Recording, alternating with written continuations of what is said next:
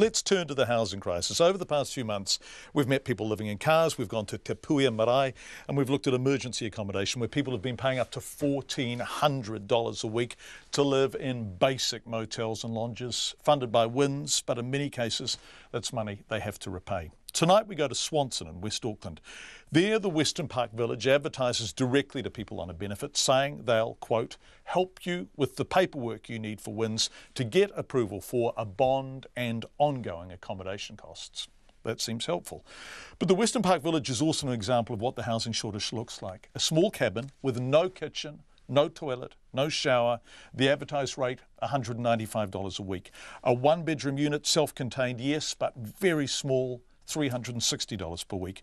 And many of those small one bedroom units have a parent and children in them. We've heard from people who tell us they hate it there, but where else can they go? We wanted to see it, and because people pay rent, market rent, they have the right, surely, to show us their homes. Some wanted to. Some wanted to talk about their situation and their life there. But this is what happened when our reporter Alex Ashton visited.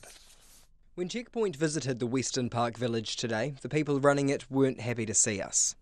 They, they can uh, they, they can do the filming from the road without uh, uh, but like they are they are standing on the premises at the moment and I want the charges to be laid right now. Can you send them police immediately please? We were unable to film inside even though people living inside wanted to speak to us. They described sharing their small portable sleepouts and caravans with cockroaches and mould, squalor with a big price tag. A one bedroom unit costs up to $390 a week. A caravan up to 360.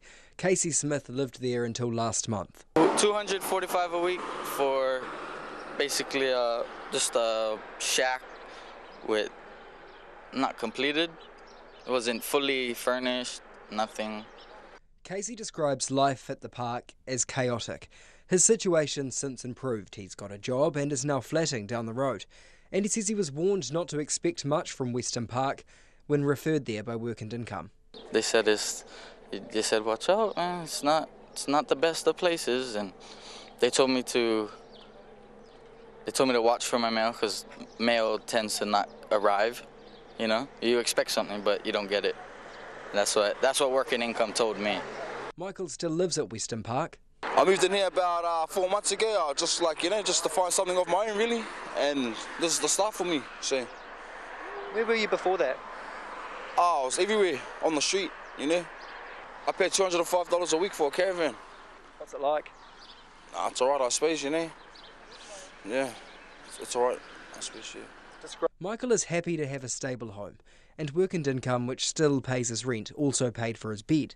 He's already paying them back, but isn't sure he'll ever clear his debt. It's, yeah, I've got to get a job anyway, so.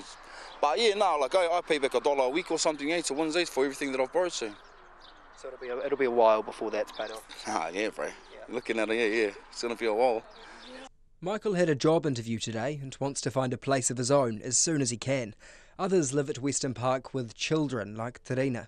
She says she's been there for eight months with two children under five in a basic one bedroom sleepout. I asked how that was, but our conversation was interrupted by management. Horrible, really, when you've got two kids um, under the age of five. So you're living in there with your two kids. How old are they, sorry? Uh, one's five and one's um, going to be two on the 1st of Can you move this October. car or else it's getting towed? Because that's not a parking spot. Please, can you move it right away right now? Why, when I haven't Because- finalised? No, no, no, no, no, no, no. You need to park in the parking spot or else or park it on the road because that is not a parking spot. Can you please remove it right now, You're please? going to cut this off. Oh, no, no, I'm not cutting it off. I'm just telling you, just take. Checkpoint asked the owners of Western Park Village for an interview about the accommodation provided and the number of work and income tenants. It didn't take up our offer. For Checkpoint, call Alex Ashton, TNA.